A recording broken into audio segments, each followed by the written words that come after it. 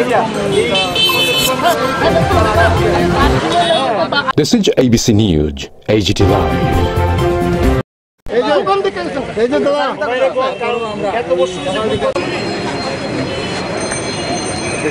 আপনাদের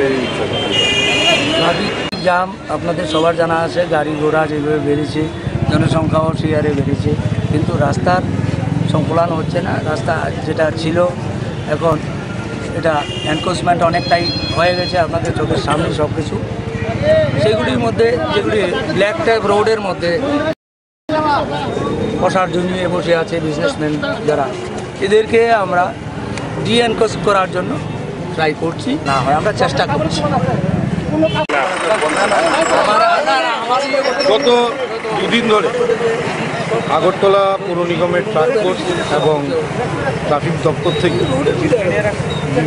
উদ্যোগটা নিয়ে, বিভিন্নভাবে নিয়ে, প্রশাসনিক লোক নিয়ে, হকারদের উপরে উচ্ছেদের একটা কাজ করছিল। আমরা সবসময় বলে আসছি যে আমরা সরকারের যে কোনো সিদ্ধান্ত, যে কোনো কাজে আমরা সহযোগিতার হাত বাড়িয়ে দেবো। তো যিনি অফিসার হিসেবে কাজ করছিলেন, ওনাকে আমি বলেছি। আমি যে আমরা সহযোগিতার হাত বাড়িয়ে দিতে প্রস্তুত। সামনের শারদীয় উৎসব।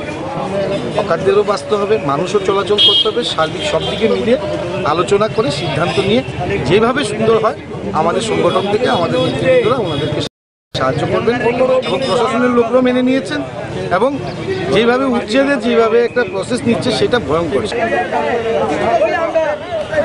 প্রশাসনের তরফ থেকে আমরা প্রশাসনের শত্রু না, প্রশাসনের পক্ষে আমরা কিন্তু বক্তব্য হয়েছে, একটা সিস্টেম আছে। সিস্টেমের মধ্যে করে এত পূর্ণ উশৃঙ্খলতা আমি কোনো প্রয়োজন নেই তাদের কিছু নেই। যার যতটুকু প্রয়োজন আপনারা দেখাই দেন, যে তোমার এই টুকুনের মধ্যে এইভাবে করো।